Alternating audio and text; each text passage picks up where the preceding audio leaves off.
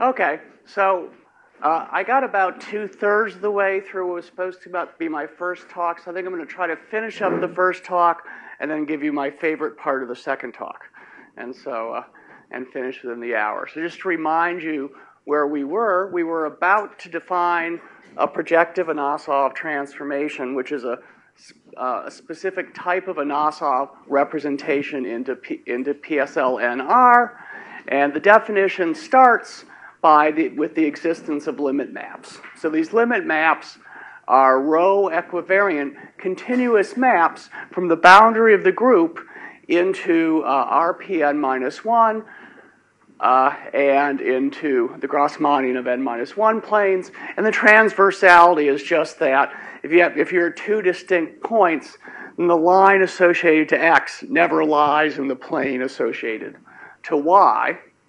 Um, and there's an, one immediate consequence you get of this is that rho of gamma fixes psi rho of gamma plus. Right? So right away you found one eigenline, and in fact you found a second eigenline, rho of gamma also fixes psi rho of gamma minus. Where gamma plus and gamma minus, this is the attracting fixed point.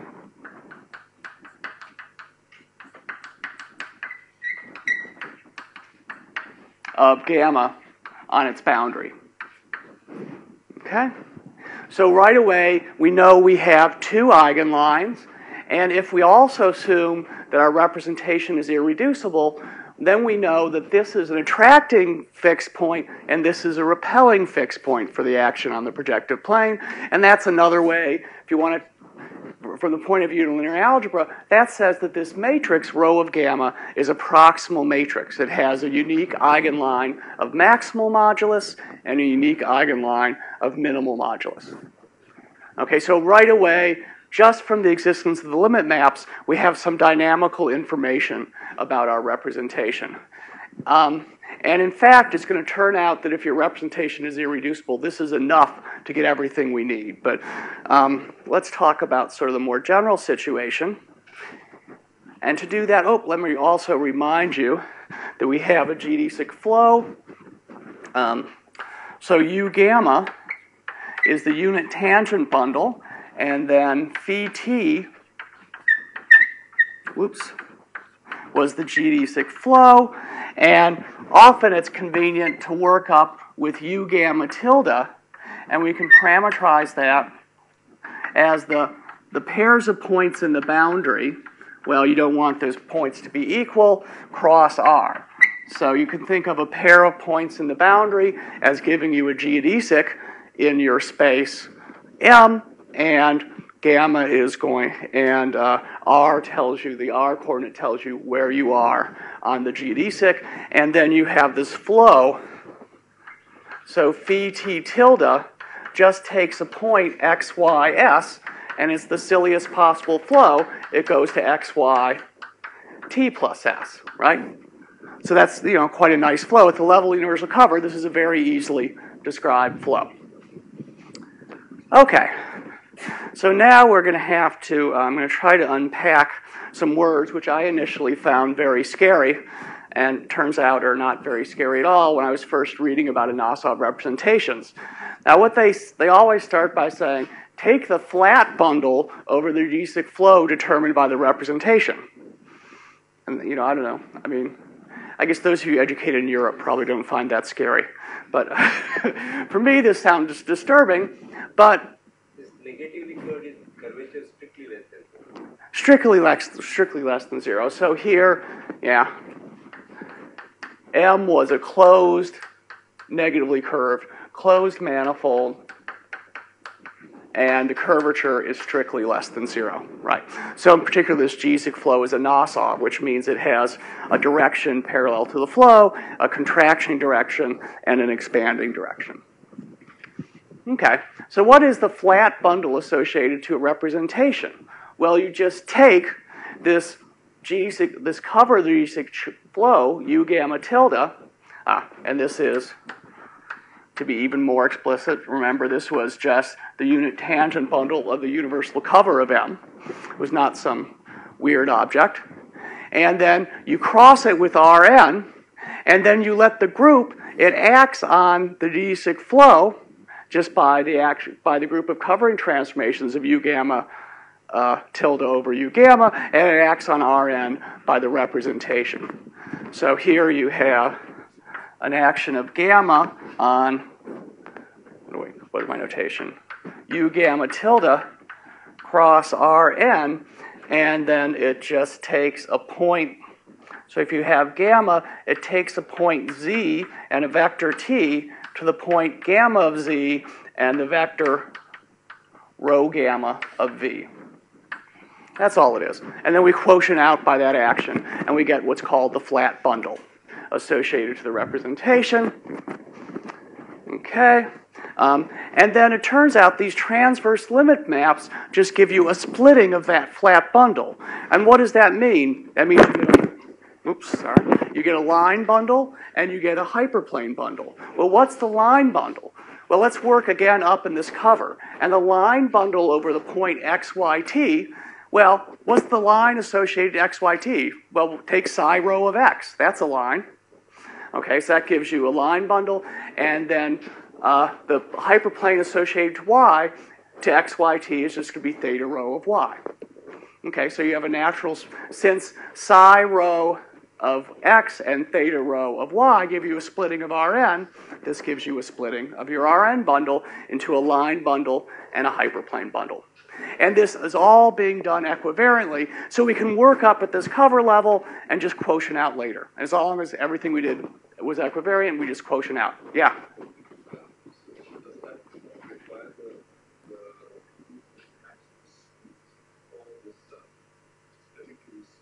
Why? Yeah, these are these are these are not these are not smooth bundles. They're just bundles. They'll have, the, the, the natural class of smoothness here is Hölder. So, um, right, so if you're Finnish, you know, Hölder is like, you know, analytic, but for the most of the rest of us, Hölder is like continuous. right. Um, right, so these are not that well behaved um, from a regularity viewpoint, but they are Hölder. Okay?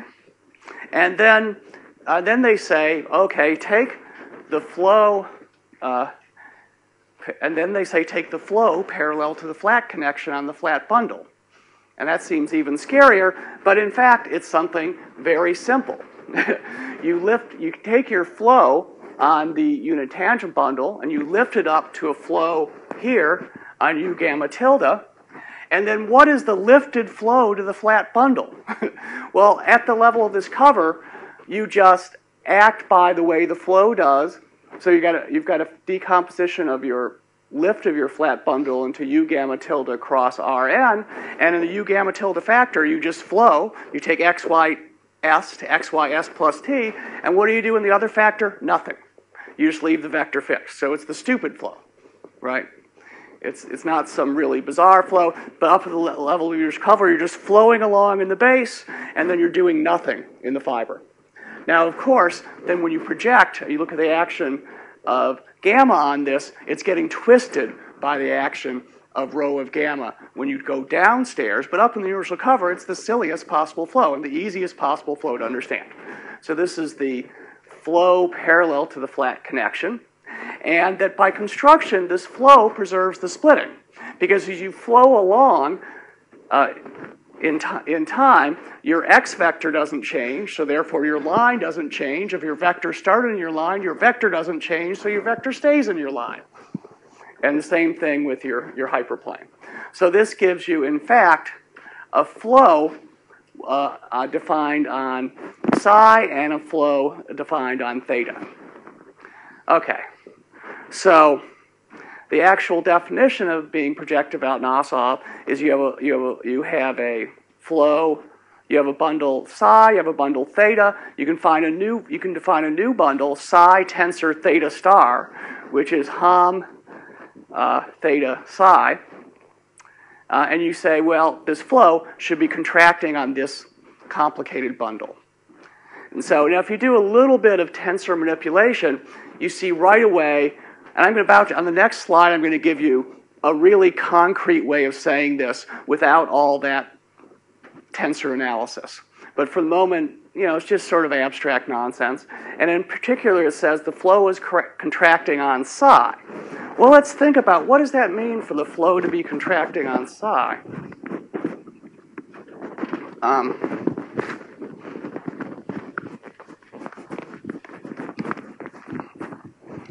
what that means is that you take some norm on E rho. So what does that mean? So that means you get you this lifts to a norm on E rho tilde, which is just U gamma tilde cross Rn, and that's just a continuous fam- var- continuously varying family of norms on Rn. That's all it is. For each point, I have a norm on Rn, and it varies continuously, and it's equivariant with respect to the action. So if you act by rho of gamma, if you act, up, if you act by gamma, then the norm here changes by the action of rho of gamma. Okay, so what does it mean for the flow to be contracting um, for this eigenline? So let's look at what happens to psi rho of gamma plus. So let's take some vector v in psi rho of gamma plus, and so and let let t gamma be the period of the flow line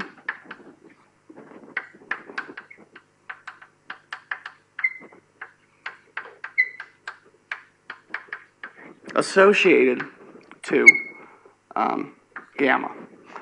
So that means that if you, right, so that means if you look at what is the uh, flow associated to gamma, it's you sit over gamma plus, gamma minus, cross R, up in the cover, that line is preserved. Flow line in U gamma associated, well, flow line.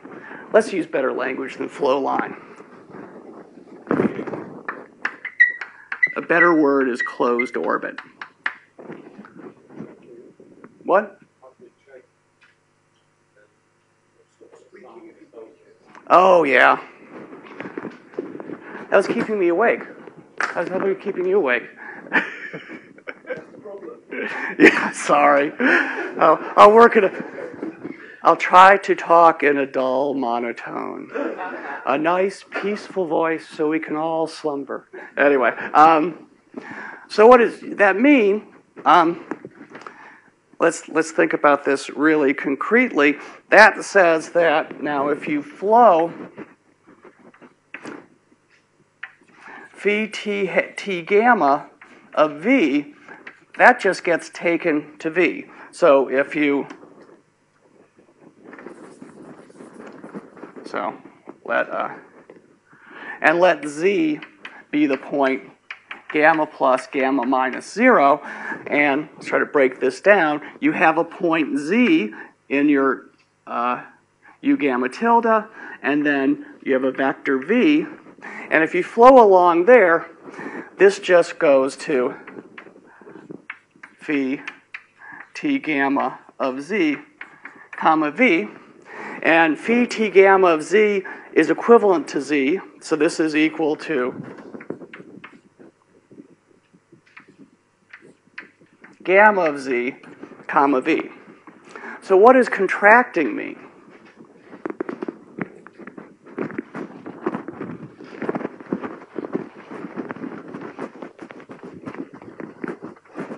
Well, that means that if you look at the norm of v,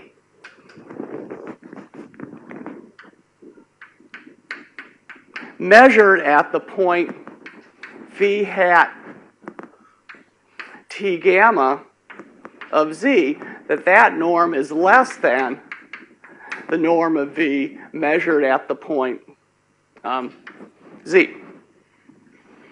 Okay? But we said that this point is um,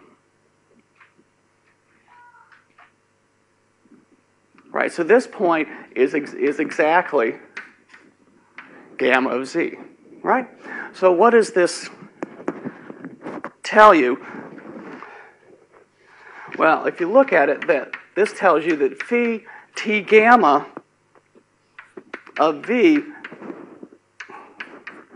at phi t of z is exactly equal to 1 over lambda 1 of rho gamma of v at z, right? Because this norm is supposed to be rho equivariant.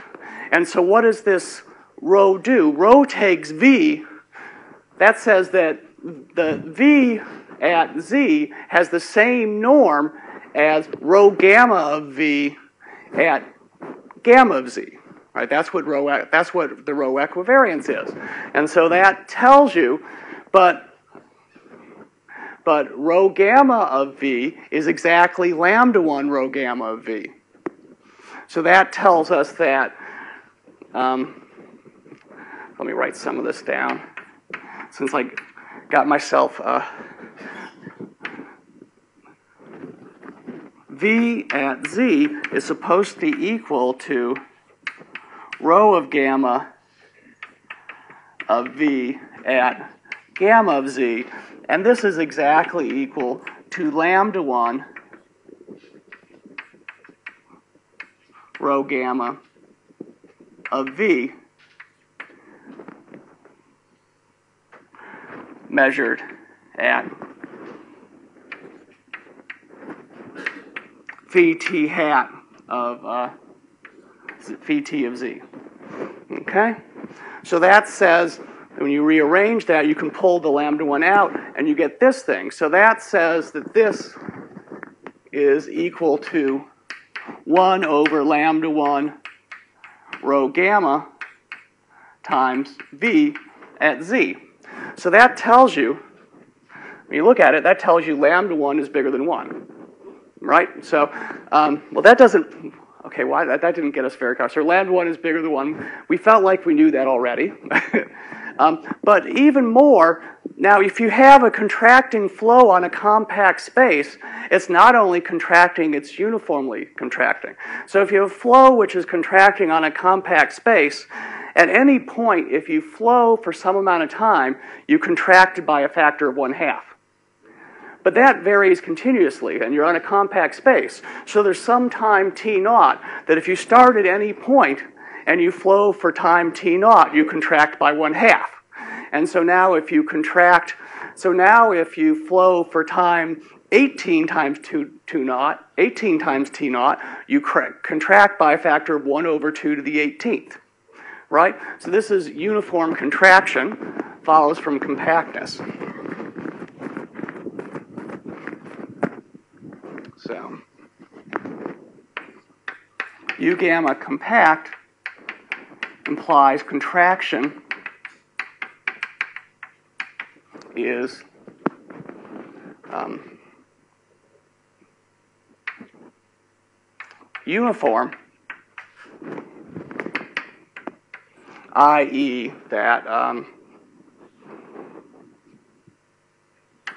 the norm at of phi hat t of v at phi t of z is less than c times e to the negative at times the norm of v at z. So it's being contracted by some exponential factor a. And so what that tells you is that, in fact, um, this contract, if we put this all together, I put it, should have probably put this all in the slides. I just decided at the last minute this would be a good thing to do. Um, so we put this all together, that tells us that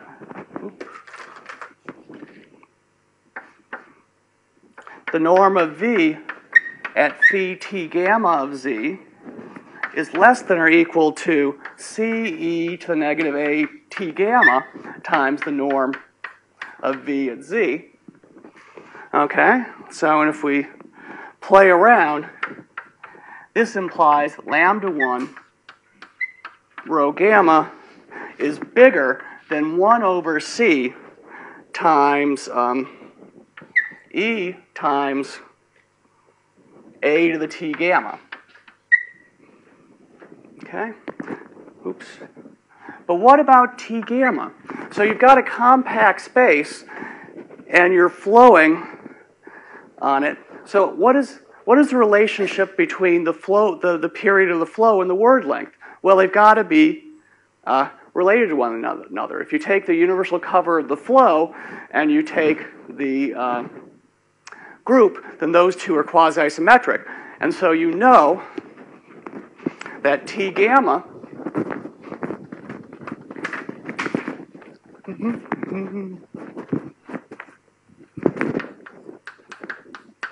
is comparable to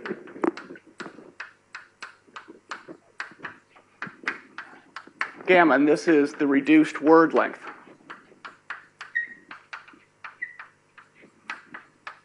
So reduced word length, you can define it a bunch of ways. One is saying it's the minimal length of a word conjugate to gamma. Another way to say it is it's the translation length of gamma on its Cayley graph. So this is, let's take that. This is translation length of gamma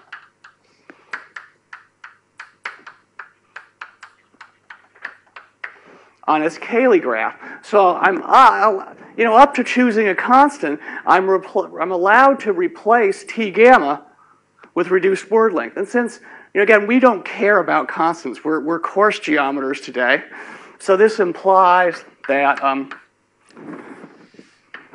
lambda 1 of rho gamma, which is this top value, is bigger than 1 over some constant e to the negative k times the reduced word length. And so that implies that the log of lambda 1 of rho gamma is bigger than some constant times the word length minus c. And this should sound familiar to us to think about back to Fuchsian groups. What is, what is the log of the top eigenvalue? Well, it's, ha it's half the translation length, right, on H2. So this is sort of saying that if you have a Fuchsian group, the translation length grows roughly the, the, as fast as the word length. And so we're seeing that same fact now transported up into this abstract setting of uh, projective and Anosov groups. They have this same property that translation length, where we're, where we're interpreting translation length as log of the top eigenvalue, is, is roughly word length. And this has a fancy name. It's called well displacing. So a representation into PSLNR is well displacing if log of the, another, and a fancy name for lambda 1 is the spectral radius, which is another thing, you know. The other thing that used to confuse me at first, that I had to teach myself that spectral radius meant top eigenvalue. So the log of the top eigenvalue is at least k times the word length minus c. Okay? Um, so here's a, and here's the more concrete formalization, formula, formalization of this bundle hom theta, theta psi is contracting. You can just say that if you put any norm on your flat bundle and you take any point in the in the uh, in the uh, geodesic flow, any vector in the line bundle at that point, and any vector w in the hyperplane bundle at that point, and you flow and you you flow for time t naught, then uh, you look at the ratio of the length of V over the length of W with respect to this norm, it's contracted by a factor of one half. So you can see that this right away, if we didn't know before that lambda 1 is the top eigenvalue, this tells you that this vec the vectors in psi are growing faster than any of the other vectors. So this tells you that definitely that lambda 1 is the eigenvalue of maximum modulus. Okay. And so, in fact, we could have given this definition, but I wanted to at least put this sort of uh, fancy definition up there. But this is totally equivalent to that. Okay.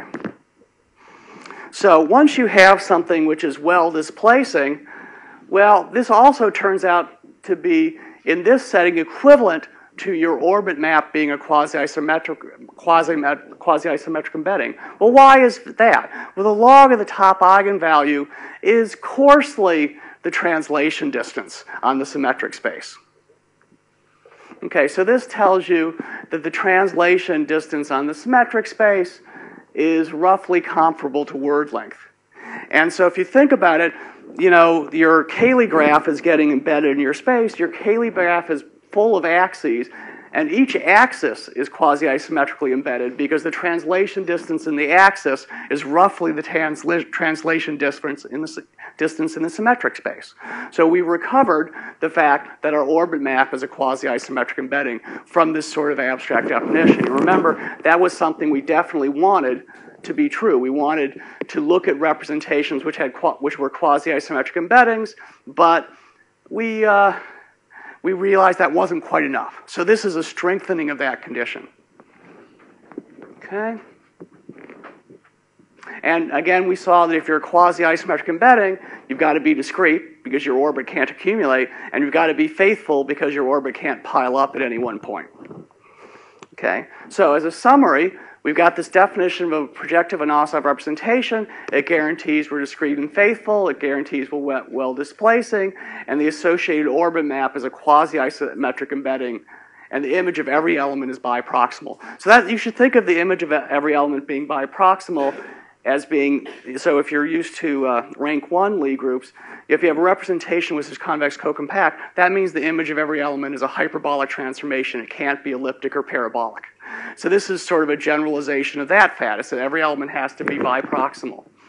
Um, and one thing which I don't have on here, I should, but is uh, I certainly don't want to prove, is one advantage of this definition is this definition is in terms of dynamics. So this says that we have hyperbolic dynamics.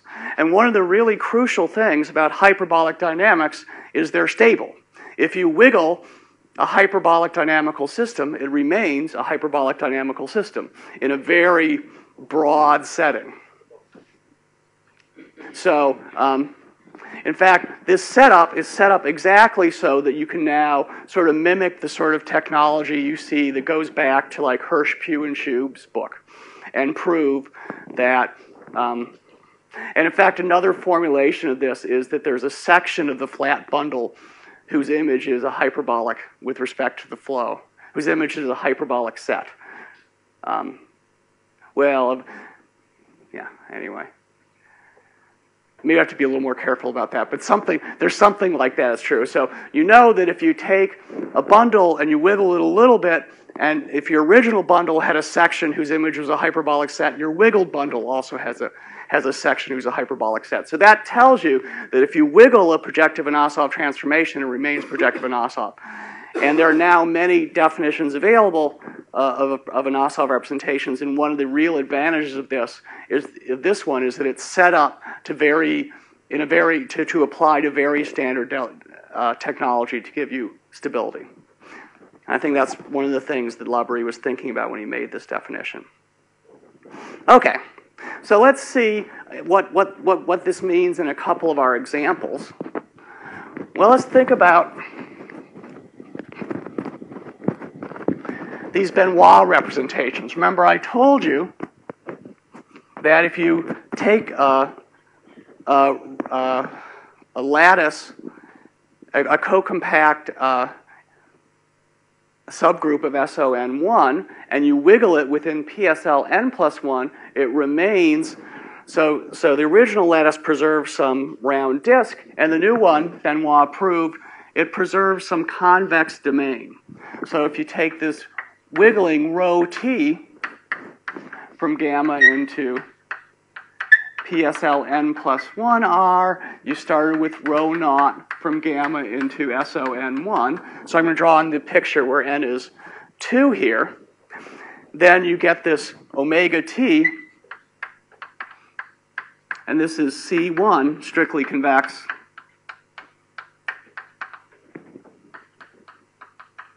And rho t uh, preserves. Rho t of gamma preserves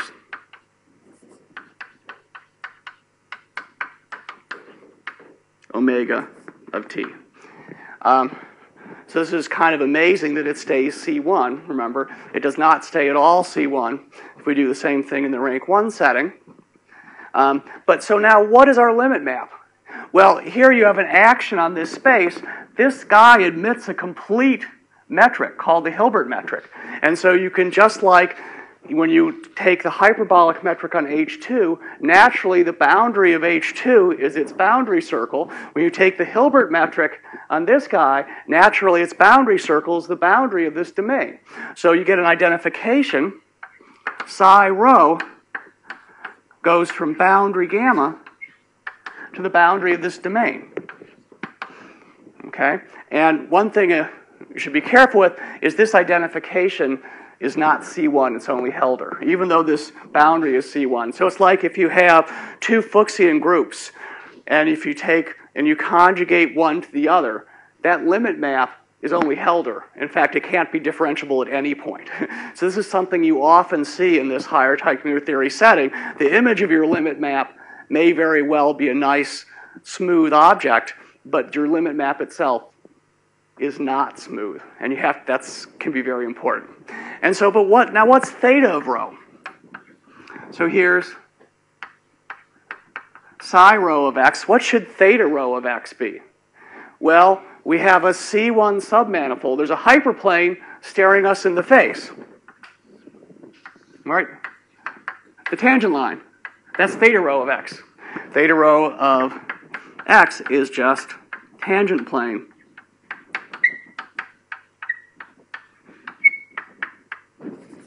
to omega t. Right? So, this, so these two transverse limit maps are staring us right in the face. And what is the transversality? It exactly reflects the fact that I told you this was strictly convex. So if you, if you unravel what strict convexity means, it right away implies transversality. Okay? So you can see sort of in this work of Benoist, which is done about the same time as Labourie's work, a lot of the ideas of Anosov representation are just very naturally occurring. Okay. Well, what about these Hitchin representations? What Labourie proves is that, in fact, they're even they're a stronger kind of Anosov. They're a Anosov with respect to a minimal parabolic. So if rho is Hitchin, Labourie shows you get maybe psi hat rho, which goes from the boundary of gamma into the space of flags on Rn. So a flag is a line, a two plane, a three plane, a four plane, all the way up to an n minus one plane. And then, so once you have this, you of course have limit maps into RPN minus one. You just take the first factor, and then the last factor is a map into the Grassmannian of n minus one planes. So the projective Anosov property is just sort of like a restriction of this, the existence of this limit map. Okay? Um, and another sort of setting which we haven't talked about, but we've talked about ping, various people have talked about ping pong. And going back to Tits, you can play ping pong in SLNR. And if you start with a, with a finite collection of biproximal elements, which are sort of in general position, which means that the attracting line of one should never lie in the repelling hyperplane of the other, then, if you pass to high enough powers, the thing they generate is projective and Anosov, and if you, you can play ping pong on the RPN minus 1, and that ping pong construction produces a Cantor set. And that Cantor set is just the image is, is just the image of the limit map. So all that stuff is playing to you. If you want, and if you want to get the map into the Grassmannian of n minus one planes, you just work on uh, uh, the dual projective space, which you can identify with. The projective space of Rn dual is naturally the Grassmannian, so you can sort of use this duality and win. So there's these various examples. Okay, and so now if you start with a general, general semi-simple Lie group and a pair of opposite parabolic subgroups, so in SLNR, that might, might mean P plus is the stabilizer of a partial, partial flag, and then P minus the stabilizer of a dual flag. So in our case, P plus was the stabilizer of a line, and P minus is the stabilizer of a hyperplane. And then your limit maps go into the associated flag spaces, G mod P plus and G mod P minus. G PSLNR minus the stabilizer of a line is exactly RPN minus 1, et cetera, et cetera. And then you can do this whole formalism. I think I'm going to skip over this. Um, but you can you know, talk about the Anosov section of the flow. And this is a little slightly different formulation, but it's really morally the same thing. So you can do a bunch more examples. So for instance, if you're, you can redo the rank one theory, and if the rank one theory, the only parabolic subgroups, there's just one of them up to conjugacy, and that's just um, the fixed point of a point in the boundary, right? So in PSL2C, this is just the set of upper triangular matrices. This is another thing that really bothered me coming from rank one. The parabolic subgroup does not consist of parabolic elements. Still, still troubling to me. it contains all elements which fix infinity. Right, so the set of the upper triangular matrices, you can think of this as all isometries of H3 preserving the point at infinity. Okay? And then it turns out to be a Anosov is exactly equivalent to being convex co-compact. So there, we've done nothing new. We just have some fancy formalism for thinking about the objects we had before. But it tells you that this is, this is again, more confirmation. This is the right way to generalize convex co-compact representations. If you're generalizing convex co-compact representations and you restrict to PSL2C, you better get convex co-compact things, or you probably don't have the right generalization. Um, and the Hitchin representations are Anosov with respect to the, uh, the set of upper triangular matrices, which is the minimal parabolic subgroup of PSLNR. Uh, another example, another thing which I would guess is an example, though I, I don't know for sure, is we saw in uh, Pepe's second talk that he constructed these mirror Schottky groups, and these uh, limit set was a Cantor set of projective lines in CP3. Well, what is that? That should that Cantor set should be a, so that means they should be a Anosov with respect to a stabilizer of a two plane in C4, and uh, then your limit map would naturally go into the space of projective lines in CP3, right? Which is G mod P plus in that setting. So maybe that's an example too. Just uh, it's sort of striking to me, so that probably should be an example. But then there's also this theorem of Guichard and Wienhard, which, which I've leaned on heavily in my own work, which says that in the end, you can always think, just think about projective Anosov transformations. I mean, you start with any old Lie group and you start with any old parabolic subgroup, then you get some representation called the Plücker embedding of your group into PSLNR, and a representation from gamma into G is a Anosov if and only if eta composed rho is projective Anosov. So in some sense, you can, if you don't, you know, if you're scared of your current Lie group, just embed your Lie group in SLNR in the right way, and you can work there. And so this is actually a, a trick which they make extensive use of in their work. It's quite powerful. Um, and you get all these very general things. With this general definition, the representation of discrete faithful, they're quasi-isometrics, the, the uh, images of each element is proximal, whatever that means with respect to your parabolic subgroup. Um, they're stable, and the action of outer automorphism group is properly discontinuous. Oh, I forgot to say, when we proved well displacing, if you think about Francois' proof of Fricke's theorem, the mapping class group acts properly discontinuously on Teichmuller space, he exactly used the fact that your, um, your uh, representations are well displacing. That if you if you sort of strip it down, that's that was the whole proof. And then and then a little group theoretic fact about about that. The group theoretic fact was that you can have a finite collection of curves whose length determine your representation, right? So you put those two facts together, you have a proof of proper discontinuity. And well, that proof generalizes to show that the outer automorphism group of any hyperbolic group acts properly discontinuously on any um, uh, group of an, any space of Anosov representations. So, sort of another another nice confirmation that what we know from the rank one world continues onward. Is there any difference between well displacing and properly discontinuous? Yeah, sure. Even in um, no, what is it? Oh, oh yeah. So well displacing says translation length grows like word length. So if you have a parabolic element, that right away fails. Translation length, zero. The translation length of the square is zero. The translation length of the third power is zero. So the translation length is growing like zero, and, and the word length is growing linearly. So they're not growing at the same rate. Or, One is stronger than the other? yeah, well displacing is implies discrete faithful. Yeah. Properly discontinuous? And properly is continuous, yeah. Well, if you think about it, suppose you have a sequence of things, suppose you're indiscrete, that means that there's some orbit accumulating at the origin, orbit of the origin accumulating the origin. So then you have an infinite collection of elements which are moving the origin smaller and smaller amounts. So you have an infinite sequence of elements whose translation lengths are converging to zero. Well, the, the word length of those elements is going to infinity, and their translation length's going to zero. That's bad.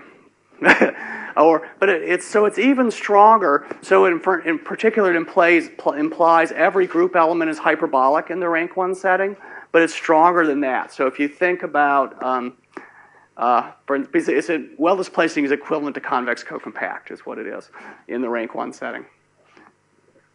What?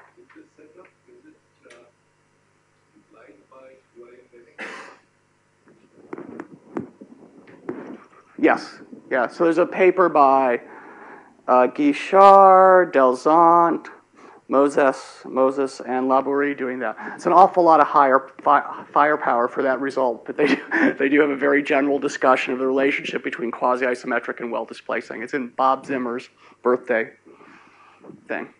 Okay, so, or if you take uh, these fiber subgroup of a three-manifold fibering over the circle, this is an example. Every element is hyperbolic, but yet it's not well-displacing because it's not a quasi-isometric embedding. Okay. And um, now there are a number of different definitions. So one thing I should say is, is we leaned on the fact that gamma was the fundamental group of a, of a negatively curved manifold to get our geodesic flow, but Gromov has defined a geodesic flow for any hyperbolic group. Um, and it's a little tricky to work with, and then you can make this whole thing go through for arbitrary hyperbolic groups. Um, but there's some definitions now which avoid that by two teams. One, Guéritaud, Guichard, Kassel, and Wienhard. Another one, Kapovich, Leeb, and Porti.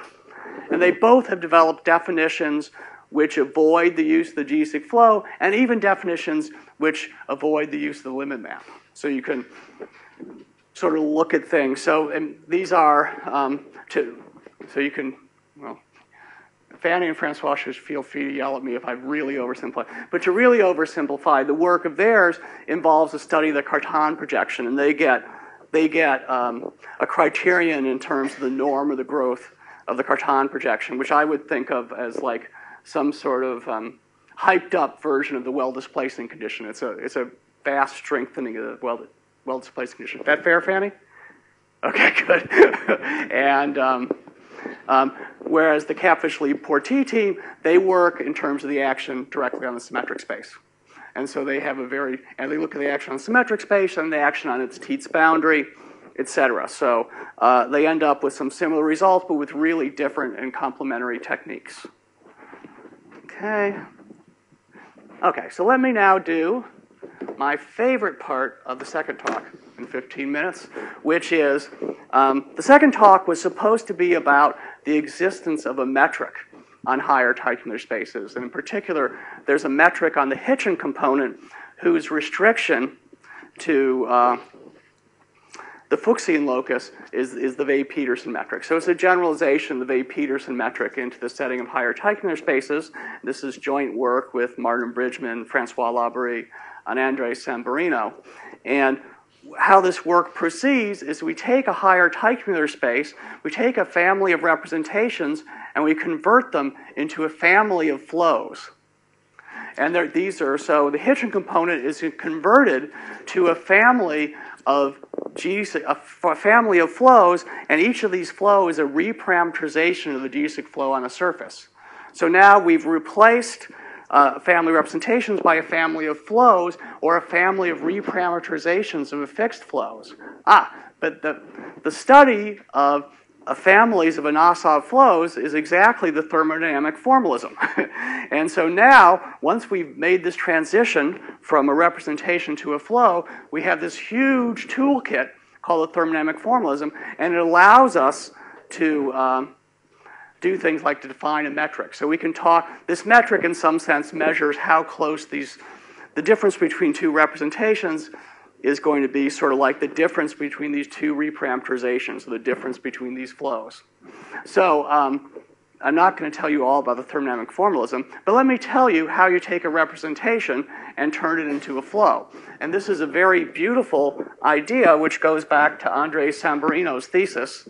Um, and when I learned this, I was just learning all this stuff for the first time. I thought it was one of these ideas that had been around 100 years because it was so natural.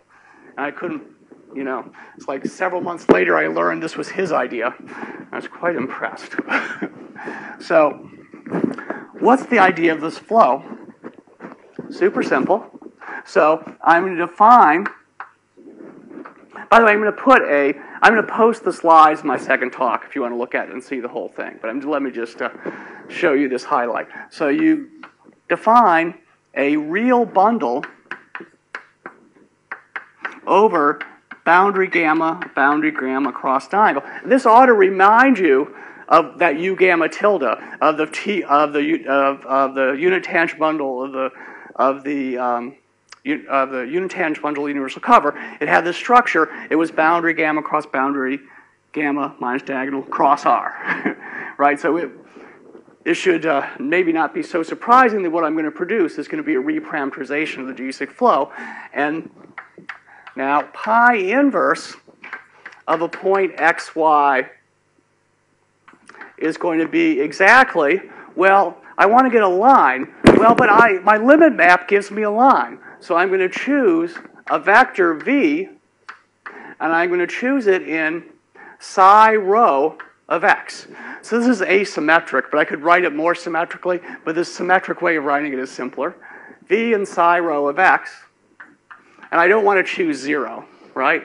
And then I'm going to identify v with negative v. So it's a choice of vector in the line bundle up to sign. Or you can think of it as, as a choice of norm on the, on the line, whatever you want. And okay, so what is the flow on this space? Psi t tilde takes the point x, y, v well, I don't really know what to do with x and y, so I just leave them fixed. Well, what do you do with, if you have a point in r minus 0, what do you do? We really can only take v to e to the tv or e to the minus tv. Those are like the, almost the only choices for a sensible flow. So here's our flow. Pretty sure it's e to the tv. I always have to think twice before I, whether it's e to the minus tv. But those are the only reasonable choices. So we think of this as a flow space where we just flow in this in the in, in the line preserving the line. And this sort of mimics the fact before we were flowing we we looked at um, x the flow it takes xyt to xyt plus s. It's sort of the analog of that. Okay um, now there's an action of gamma on f sub rho. And what does it do? If you take some element gamma of xyv, well, gamma acts on the boundary of gamma, and then you take v to rho gamma v. So again, it's acting by the group on the first factor, and it's acting by the representation on the second factor. This should feel familiar. Okay? And the, the fact that this makes sense, this is well defined exactly because psi rho was rho equivariant. So the equivariance, the limit map coming on here. And then the, and so now what I want to do is I want to quotient out. But the problem is I don't know right away that my action is nice. So it turns out that what I first do is show that I've reproduced, a, a, I've produced a parameterization of the geodesic flow, and once I show that, then I know the action is proper and co-compact. So little lemma you can show, and it's not hard. I'm not going to do it for you. We don't have time. But there exists a gamma invariant, or gamma equivariant would be a better way of saying it. and it's going to be Hölder. Again, that's just the natural setting. If you're used to hyperbolic dynamics, everything is Hölder, right? That's, that's the best smoothness for everything. Hölder orbit equivalence. Um, yeah. yeah. So what might be interesting is the question is the, the Hölder exponent feels like it behaves a little bit like the Hausdorff dimension of the limit set. But there's, there's some results like that, but that's, yeah. G tilde from, yeah, it's uh, in its infancy. It's in its infancy. So there's a, Hölder orbit equivalence means it's a homeomorphism which preserves orbits. It doesn't preserve the flow. I mean, if you're, you know, so that so it preserves the flow lines, but it doesn't preserve the flow. Okay?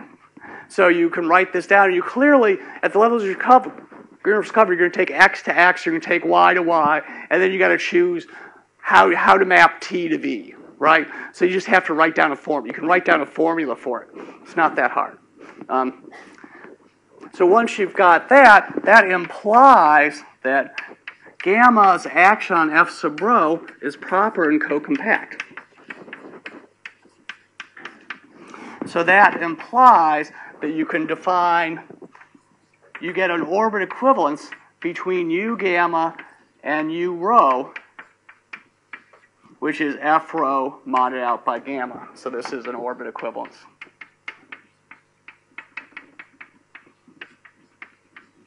And then it's a general theory that if you have two flows, to, so if this flow is, is Anosov, so if you have two, so if this flow is Anosov, then also this flow will be Anosov. And then um, uh, if you have two Anosov flows which are orbit equivalent, one, it turns out, is a reparameterization of the other.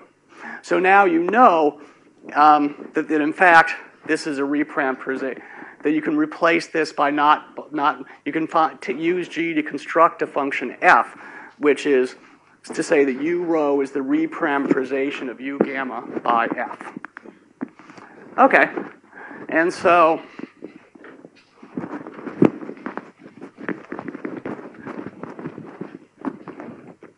right, and also another nice thing here is if you know if you start off with the Gromov geodesic flow, and uh, then you don't know that's Anosov. You don't have this theory of negligibly curved manifolds. You, you don't know you have an, a, flow even in the metric set, metric sense. But it turns out you can take this construction and use the Anosov property of the limit maps to prove that this flow F sub rho is metric Anosov. So this tells you something about the dynamics that tells you the Gromov geodesic flow of a group which admits that Anosov representation is Anosov, which is something we didn't know before and which we don't know whether that's true for general hyperbolic groups. There's something special about these hyperbolic groups which are occurring here.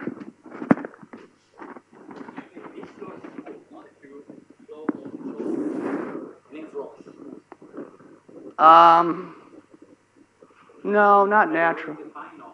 No, it's just Hölder. It's just Hölder, yeah. You, you know, you can write, you can sort of write down, you do an averaging procedure, right? So the point is, you know, if you end up with something which is reparameterization by a Hölder function, it's differentiable in the direction of, of the flow. But this map, we don't start out knowing it's differentiable in the direction of flow. So it's a little bit of, there's a little bit of abstract abstract dynamical systems, which is allowing us to make an upgrade in regularity using the anosovness. It uses the anosovness in a crucial way.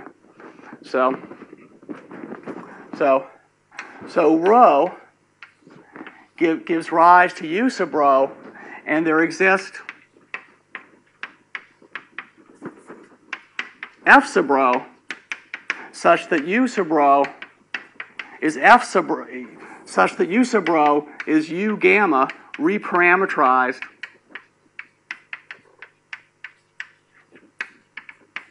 by F sub rho. So now what we get, we get a map, so for instance, of the Hitchin space, Hn of S goes into the space of Hölder functions on U gamma. right? Um, so you start with a representation and you end up with a positive Hölder function defined on the flow space. Okay, and then there's also something called uh, the pressure function, which, which is associated to the flow. And there's a little fact that P is analytic. And uh, P of negative H rho equals zero if and only if uh, H is the topological entropy. What? Yeah, yeah, right. This is this this, this whole so for people from the may be familiar from the rank one world, Ruelle showed that the Hausdorff dimension of the limit set of a quasi Fuchsian proof varies analytic of a quasi Fuchsian group varies analytically. This is a so this whole project is a big jump up of that. so H is the topological entropy. So this is an analytic findings. This tells you that once you can show that F rho varies analytically, which again is a nasty exercise in the Hirsch-Pugh technology, then you can show that the topological entropy of this flow varies analytically. But what is the topological entropy of a flow? It's exactly the exponential growth rate of the number of orbits of length t. So you take the log of the number of orbits of, of length at most t and divide by t and pass to the limit. And the fact that the limit exists at all, normally you just have to take lim sup. The fact the limit exists at all follows from being Anosov. Um, so the topological entropy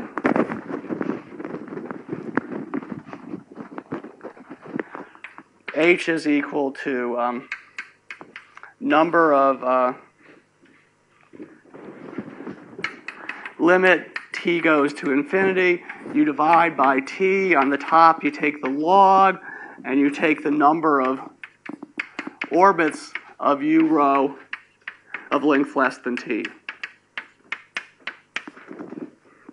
So you can equivalently, uh, that's going to be roughly the length of the number of closed geodesics in the quotient symmetric space of length less than t. And then there's some very famous work of Sullivan, which says the topolo- this topological entropy in the rank 1 case is just the Hausdorff dimension of the limit set. So one thing that comes out of this is um, that if you take any analytically varying family of convex co-compact representations into any rank 1 Lie group, the Hausdorff dimension of the limit set varies analytically. So this was previously only known for surface groups in PSL2C and free groups in PSL2C and free products of surface groups and free groups, PSL2C. And Samuel Tapie, I believe, proved it with C1 in a fairly general setting. I'm not sure how general. But this is, uh, right. So right away, before we even getting to define the metric, just at this place, we've got analyticity of everything analyticity sort of everywhere. Um, yeah, and this is just, and this is coming out of the thermodynamic formalism. This is just start. So now, now we start hitting the thermodynamic formalizing formalism hard. It turns out that the space of pressure zero functions admits a, uh, a semi-norm, which is po uh, a positive semi-norm or a non-negative semi-norm, and we just pull that back by this mapping. so we pull back from this, we take from here, we go in, this gives us a mapping of the space of pressure zero functions. We have a form here. We pull that form here back onto the Hitchin component, and we then have to show that it's positive definite. So that's nasty. When you want to show positive definite, it's kind of nasty. Involves a lot of trace identities in the end. Um, and this is all a generalization, also a generalization of Thurston's idea that the Weil-Petersson metric um, should be the hessian of the length of a random geodesic.